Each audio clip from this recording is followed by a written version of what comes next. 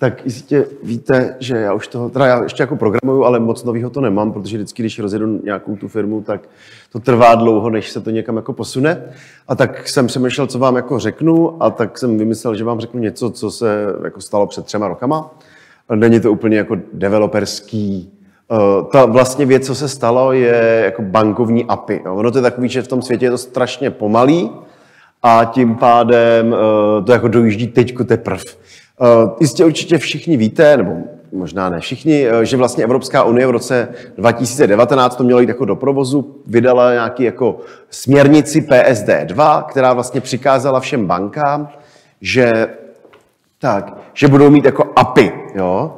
Takže vlastně udělali PSD2, uh, všechny banky to v roce 2019 měly splnit. Eh, má to vlastně nějaké jako dvě části. Jedna je AISP, což jsou jako výpisy na účtech, že vidíte, jaký platby vám na těch účtech přišly.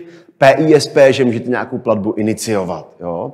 Uh, licenci k tomu, če, tomu PSD2 vlastně přiděluje vždycky národní registrátor a platí vám vlastně pro celou Evropskou unii. Jenom se stačí, jako, tam vám přidělí ten váš registrátor a můžete si ji jako využít dál. Uh, jakoby do dalších států. Problém je, že je poměrně těžký ji získat a má vlastně docela dost omezení. Takže já, když jsem si to PSD2 jako přečetl, tak jsem se jako úplně zhrozil a říkám, jo, oni na nás zapomněli, jako na nás teď myslím jako firemní software. Uh, takže uh, jsem něco chtěl říct. Jo, PSD2 vlastně vzniklo k tomu, jako když to řeknu primárně, aby mohla vzniknout alternativní aplikace pro internetové bankovnictví, abyste si jako mohli v mobilu prostě koukat na všechny vaše účty. Jo. To byl jeden z těch, těch jako use caseů, jo. ne, že by se úplně jako vydařil. A samozřejmě, protože to je jako pro koncový zákazníky, tak je jasný, že tam musí být poměrně velká ochrana, protože ta aplikace, která vám vlastně takhle jako přistupuje na účet a je od nějakého nezávislého developera, tak vám vlastně může uh, jako přistupovat na ty peníze, na ten účty a může vlastně iniciovat platby. Takže vy si nainstalujete tu, tu apku a ona tam je na pozadí někde a někde jako za půl roku by vám začala odesílat stovku měsíčně, pak pětistovku měsíčně a je otázka, kolik let by trvalo, než byste si toho všimli, že vám jako krade peníze. Proto je jasný, že tam nějaký ten dohled nad tím musí být jako přísnější, než je to jako u jiných věcí. Jo? Takže v tomhle směru je to jako dobrý. To mucho. Buďte ticho, vy! A to je naprosto v pořádku. Ne, já to budu mít krátký. Uh, tak, počkej, když tam byla předtím devatenáctka, proč je tam devítka?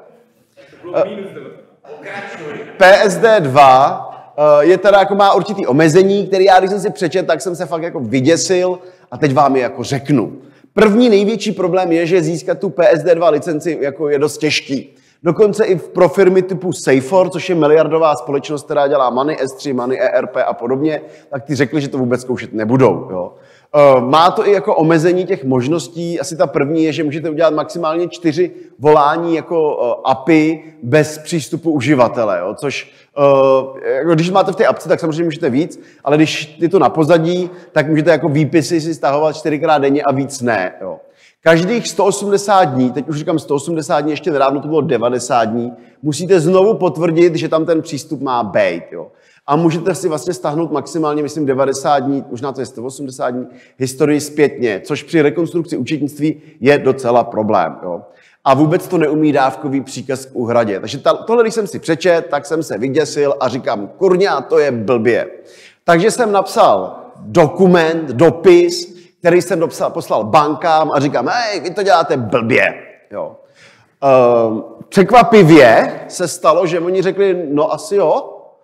Takže jsem pak jako skončil eh, v České spořitelně, kde jsem seděl já a deset lidí z té spořitelny a vymýšleli, jak jako Petra Feršmana připojí jako na, na API té banky, abych to jako mohl používat. Jo. A uh, já jsem vždycky jako říkal, hele, buď jako to přístupníte všem a bude krásný svět růžový, jako uh, zlepšený, anebo to nespřístupníte a uděláte mi krásný monopol, protože já prostě to, jako, tu PSD2 si teda získám a budu to draze prodávat dál. Jo. Takže Česká spořitelná jako řekla, dobrý, tak jako za měsíc uh, vám dáme vědět, nebo ti dáme vědět, mi tykají někteří z nich.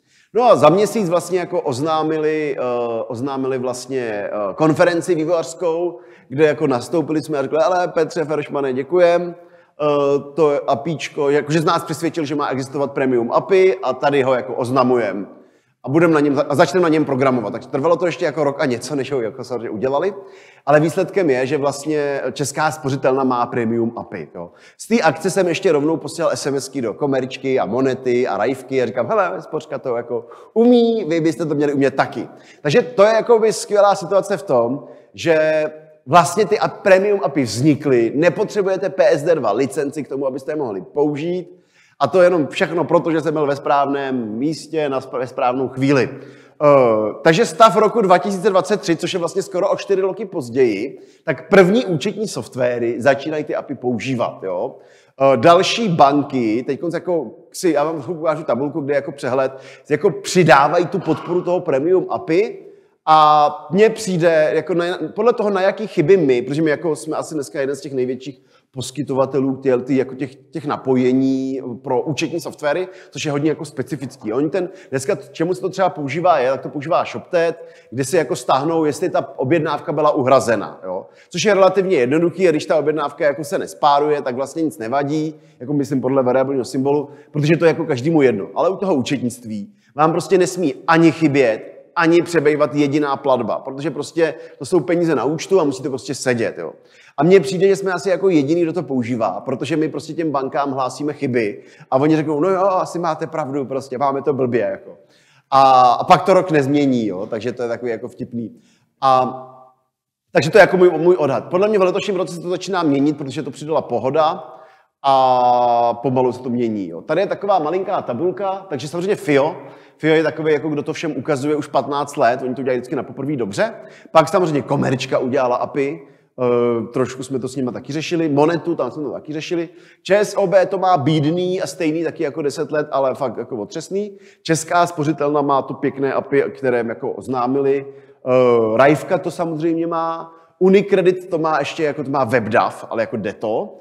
Uh, teďko mám informaci, že Creditas by měl mít API jo, a řešíme vlastně, teď implementujeme PPF, takže to by se mělo být dobře a u Commerzbank to nikdo nechce.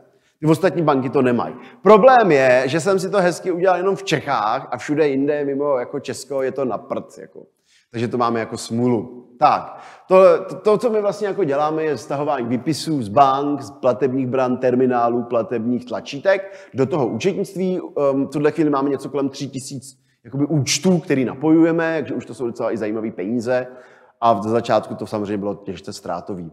A co ještě jako budou další apíčka, protože teď jsme se bavili jakoby o výpisech z bank, z účtu, když už teda vám tady jako nutím uh, své minulé úspěchy, které se nebudou opakovat, uh, tak samozřejmě, jaký jako další bankovní API existují. Tak samozřejmě ty transakce na účtech, výpisy, uh, což je jakoby rozdíl, protože třeba když vám přijde platba v sobotu, tak vám řeknou, ale přijde platba. Akorát, když to ta banka zpracuje, tak to vlastně zaúčtuje první pracovní den. Takže vám jako ze sobotní platby se stane pondělní. Jo? A v tom výpisu jako je to jako správně, ale v té transakci je to původní datum. Což my s tím docela trpíme, protože nám prostě mění ty datumy úplně běžně. Jo? Co je potom jako dobrý, co, nebo co už taky jako vzniká, je to nahrávání toho příkazu k úhradě, to znamená nahraju celou dávku. Jo. Samozřejmě to součástí té e, normy toho PSD2 je jako platba, iniciace platby, ale to je takový to jako, že uh, dáte tlačítko zaplatit, ono vám to řekne ano, chci zaplatit, proto takový to platební tlačítko. Jo. Takže to je trošku něco jiného. Teď se hodně začíná prosazovat uh, know, know Your Customer, nebo Bank ID, Eh, což už tady vlastně taky byla jako přednáška, kdy vlastně oni vám dokážou o tom člověku říct nějaké informace, což je jako super, jo. Eh, připravuje se nějaký jako větší platební tlačítko, jak v Česku, tak i něco by se mělo dít jako v Evropské unii, protože vlastně ten monopol Vizy a Mastercardu je takový docela jako silný a oni si jako dneska vlastně za ty platby platíte skoro procento, jo. Což jako vlastně, jako když si uvědomíte mít procento z obratu celé, celé Evropské unie, jako vůbec není špatný biznis. Eh, tak by jako co Evropská unie chtěla trošku jako změnit, aby to nebylo procento, ale třeba 0,1% nebo ještě méně. Jo. Uh, tak, a to je asi všechno, co jsem k tomu asi měl. Dokonce jsem to stihnul o tři minuty rychleji. Takže uh, to.